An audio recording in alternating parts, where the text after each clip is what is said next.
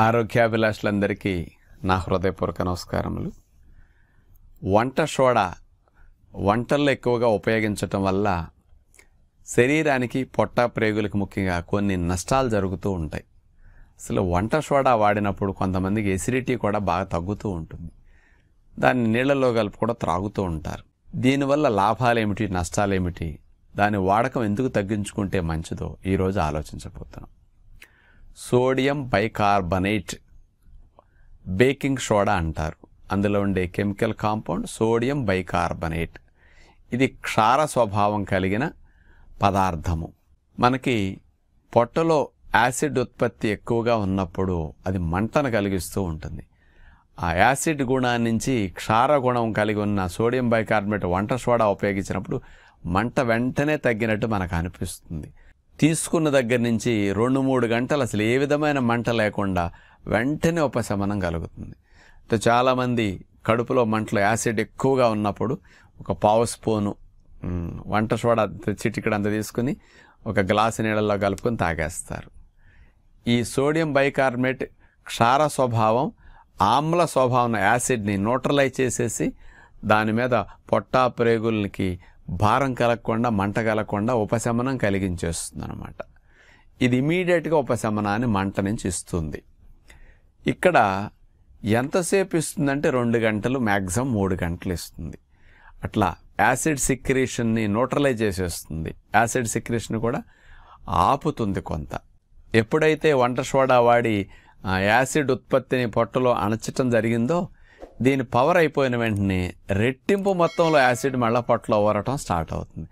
అందుకని సమస్యను మనం తీవ్రతరం చేసినట్లు అవుతుంది. వంట సోడాలు వాడి ఎక్కువగా యాసిడ్ యొక్క ప్రభావాన్ని అణిచివేసినందుకు అణిచివేతలో యాక్షన్ రెట్టింపు ప్రెషర్లో రియాక్షన్ ఎట్లా ఉంటుంది?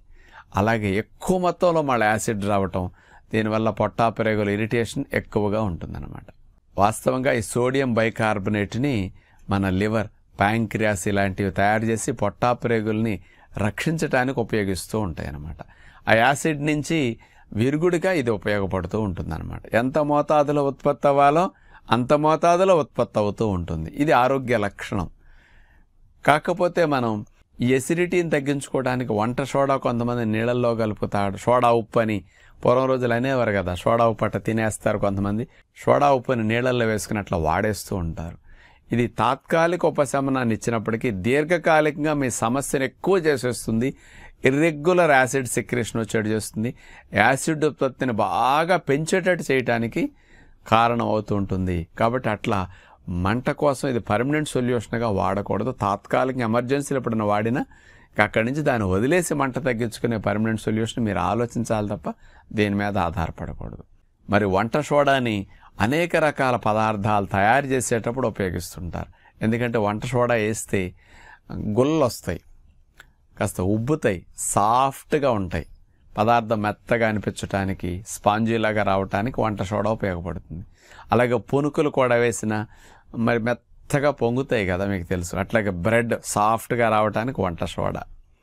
కేకులు మరి చాలా వాటిలో బిస్కెట్స్ పఫ్స్ పిజ్జాలు బర్గర్లు ఇట్లాంటి వాటి అన్నిట్లో వంట సోడా విపరీతంగా వాడతారు. మరి ఇట్లా అన్ని పదార్థాలను సాఫ్ట్గా స్మూత్గా ఉండాలి అని అందరు ఇట్లా కలుపుతూ ఉంటారు కదా. మనం ఇలాంటి పదార్థాలన్నీ తినటం ద్వారా వంట సోడా ఎక్కువ మొత్తంలో శరీరం లోపలికి వెళ్ళిపోతున్నది. అందుకని దీనివల్ల డైజెస్టివ్ ఇష్యూస్ ఎక్కువ వస్తాయి జీర్ణకోశ సంబంధమైన సమస్యలు. ఎందుకంటే ఈ పొట్టలో ఆహారాన్ని అరిగించడానికి ఉత్పత్తి అయ్యే హైడ్రోక్లోరిక్ యాసిడ్ యొక్క యాక్షన్ని ఈ వంట సోడాలు వంటల్లో వాడినప్పుడు అది తగ్గించేస్తుంది. మరి యాసిడ్ అనేది తగు మోతాదులో ఉత్పత్తి అయినప్పుడే ఆహారంలో ఉండే మెతుకులు ముక్కల పదార్థాలన్నీ బ్రేక్ చేయబడతాయి. తదుపరి మూడవ దశ డైజెషన్కి ఇక్కడ రెడీ అవ్వాలంటే పొట్టలో యాసిడ్ ఉత్పత్తి బాగా ఉండాలి. ఆ యాసిడ్ ఉత్పత్తి ఎక్కువ ఉండటం వల్ల కూడా లాభం ఏంటంటే ఆహారంలో ఉండే క్రిములు కూడా చంపబడతాయి. అందుకని ఎంత మోతాదులో యాసిడ్స్ రావాలో అంత మోతాదులో యాసిడ్స్ వచ్చి జీర్ణక్రియ చేయటం క్రిములు బాగా చంపేయటం చేస్తాయి. అదే మీరు వంట సోడాని వాడినప్పుడు నాలుగైదు రకాల పదార్థాలు వంట సోడా వాడిని వెళ్ళి అనుకోండి ఒక్కసారి సోడియం బైకార్బోనేట్ మీ లోపలికి ఎక్కువ మొత్తంలో వెళ్ళిపోతుంది. దానితో ఏమవుతుంది? ఈ యాసిడ్ అంతా న్యూట్రలైజ్ అయిపోతుంది. యాసిడ్ యొక్క ప్రభావం తగ్గిపోతుంది. యాసిడ్ ఉత్పత్తిని కూడా ఆపేసే అవకాశం సోడియం బైకార్బోనేట్కు ఉంది. దీనివల్ల డైజెస్టివ్ జ్యూసెస్ యాసిడ్స్ ఇట్లాంటి సెక్రేషన్ తగ్గిపోతున్నది.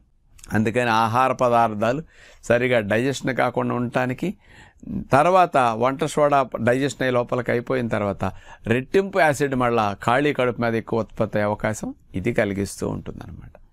సాధ్యమైనంత వరకు వంట సోడా వల్ల ఇట్లాంటి నష్టాలు అధికంగా వాడినప్పుడు ఉంటాయి కాబట్టి మరి ఇలాంటి నష్టాలతో పాటు వంట సోడా వాడటం వల్ల శరీరంలో పొటాషియం లెవెల్ క్లోరైడ్ లెవెల్స్ ఇట్లాంటివి తగ్గిపోతుంటాయి. దీనివల్ల సోడియం లెవెల్ పెరిగిపోతూ ఉంటుంది.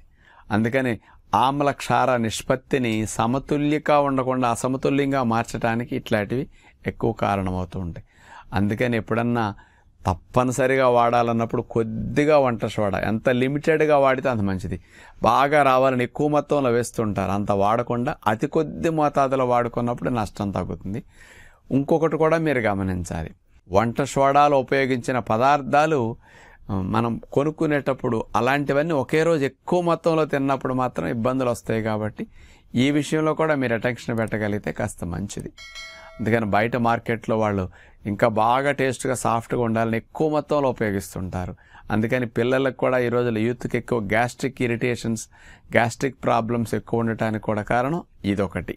అందుకని వంట సోడా వాడకం ఎంత తగ్గిస్తే అంత మంచిదని అట్లాగే దాని బదులు పదార్థాలు స్మూత్గా సాఫ్ట్గా ఉండాలంటే కొంచెం మేగడ కలుపుకోండి. దీనివల్ల తయారు చేసుకునే పదార్థాలు సాఫ్ట్గా స్మూత్గా వస్తాయి అన్నమాట కొంచెం గుల్లగా ఉండటానికి పొంగటానికి కూడా ఇది ఎక్కువ హెల్ప్ చేస్తుంది. నష్టం లేకుండా కమదానాన్ని ఇస్తుంది. ప్రేగులకు కూడా హాని కలిగించదు. మేగడ ఇట్లా వేసినప్పుడు ప్రేగుల్లో గుడ్ బ్యాక్టీరియాలు బాగా పెరుగుతాయి.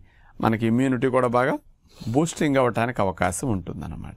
కాబట్టి వంట సోడా సోడియం బైకార్బోనేట్ వల్ల ఎక్కువగా వాడటం వల్ల ఇట్లాంటి నష్టాలు ఉంటాయి కాబట్టి జాగ్రత్త పడదామని విజ్ఞప్తి చేస్తూ నమస్కారం.